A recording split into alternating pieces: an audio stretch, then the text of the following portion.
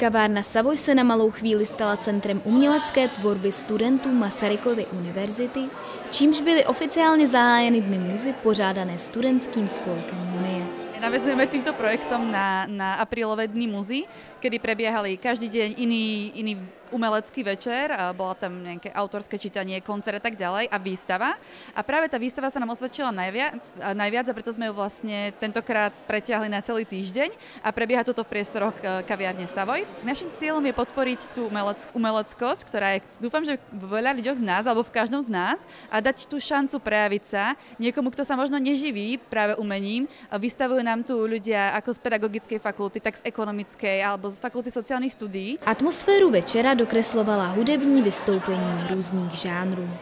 Návštěvníci se však nejvíce zajímali o vernisáž obrazů. Jsem se chtěl podívat, co malují mi vrstevníci, protože jsem dřív vlastně hodně maloval. Když jsem byl na základce, tak to vlastně byl můj jediný koníček, nebo takový ten koníček, pro který jsem opravdu žil a potom se poslední dobou bohužel se vytrácí, tak jsem tak trochu přišel se podívat a načerpat inspiraci. Ve škále portrétů, zobrazení krajin i abstrakce se nejeden přítomný našel to svoje.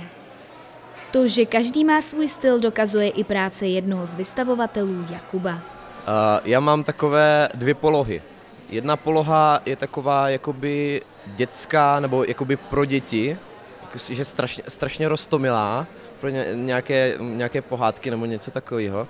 A druhá extrémní poloha je taková ta metalistická, jakoby prostě no, tak to vlastně inklinace k nějakým uh, vizuálům nějakých met, metalových kapel nebo prostě nějakých temných okultních kultů. Z Brna pro Muni TV Kateřina Keprtová.